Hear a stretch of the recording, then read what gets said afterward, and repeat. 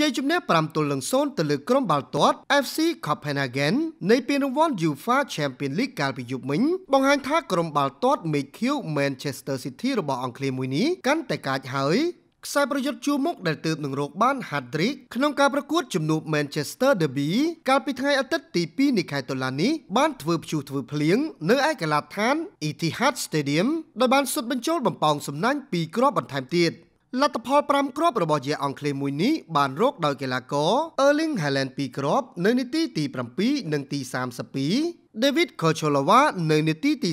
39កីឡាករ Riyad Mahrez នៅនាទីទី55និង Alvarez នៅក្នុងនាទីទី76 លទ្ធផលនេះបានធ្វើឲ្យ Manchester City ទទួលបាននៅ3ពិន្ទុបន្ថែមទៀតដែលស្ថិតនៅក្នុងកំពូលតារាងនៃ Pool G ដែលមាន9ពិន្ទុនៅក្នុងដៃនៃក្របខ័ណ្ឌ UEFA Champions League ខណៈដែលក្លឹប Borussia Dortmund បានដេញតាមពីក្រោយ